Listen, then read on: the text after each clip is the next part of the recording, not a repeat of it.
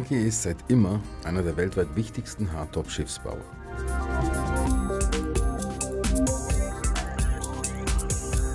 Der Cranky M44 HT ist eines der jüngsten Projekte und repräsentiert die Entwicklung dieser Schiffstypologie.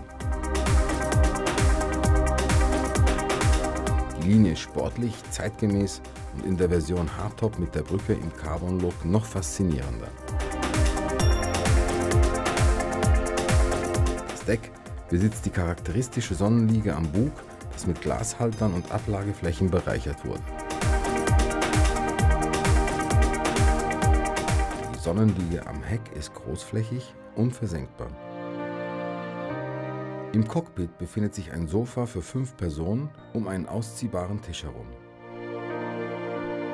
Backbord befindet sich die Küche mit einer Chaise Schiebedach bietet eine enorme Öffnung, damit man das Fahrzeug wie ein Open genießen kann. Aber es handelt sich um ein Hardtop und verfügt auch im Unterdeck über ein geselliges Ambiente.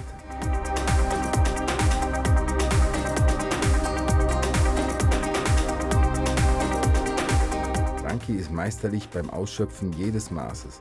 Und dies ist auch eine wichtige Begabung, da auf einem Boot nie genügend Platz vorhanden ist.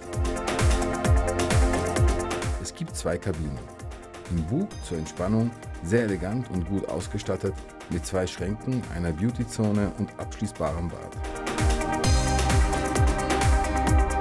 Die Gästekabine liegt zentral und hat drei Schlafmöglichkeiten.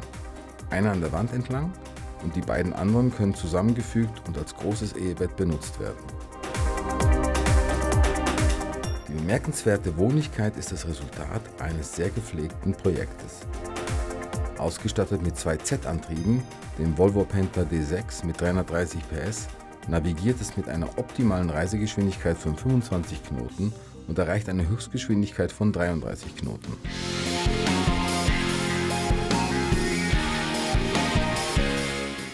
sich dabei um eine sehr hohe Leistung für Schiffe dieser Größe und Leistung.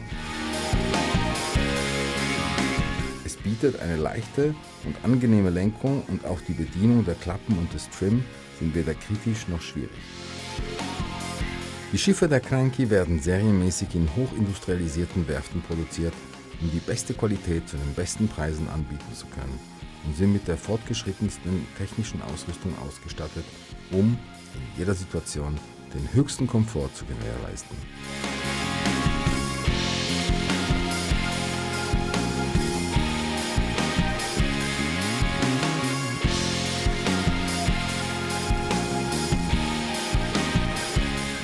San Giorgio di Nogaro in Friaul zwischen Triest und Venedig steht das Marine Testcenter Italo Monzino, wo man alle Schiffsbauten der Granchi ausprobieren kann. 365 Tage im Jahr.